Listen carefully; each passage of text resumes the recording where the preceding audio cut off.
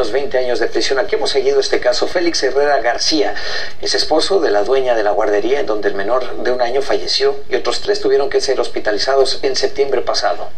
La policía encontró drogas en armarios y debajo de las alfombras en donde los niños dormían y jugaban.